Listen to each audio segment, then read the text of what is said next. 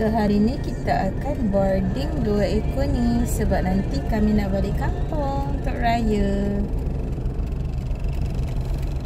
Sekejap ya. Ha, itu adik Koko warna putih tak nampak. Ya, yang lagi satu ni yang nangis ni Bibi. Hai. Kejap ya, nanti hantar dekat vet doktor. Okay. Okay guys, apa nak pesan?